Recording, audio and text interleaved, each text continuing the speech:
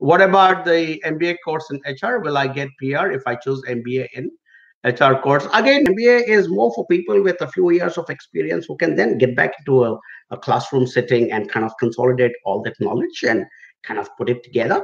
Uh, so that's that's what I would recommend. So what I would suggest, Nathan, is have a chat with our team, and I, I mean, it looks like you're already in touch with the team, and so let's see instead of an MBA, if we can get you into something a bit more specific, like a core uh, area inside MBA, like, like in business, like marketing or accounting or administration, and that that'll kind of give you a better chance of you know getting a, a job after you complete your course. And the route to a, a, a residency or a PR is to be able to get a relevant uh, job after you complete your course. So, you know, that would be my suggestion to you, Nathan. All right. Stay in touch with the team and we will work with you.